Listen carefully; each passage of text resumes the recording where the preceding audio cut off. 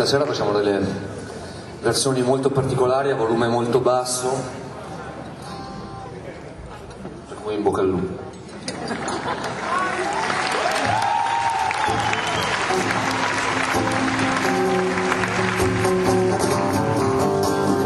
Ora stringi fra le mani le tue lame stanche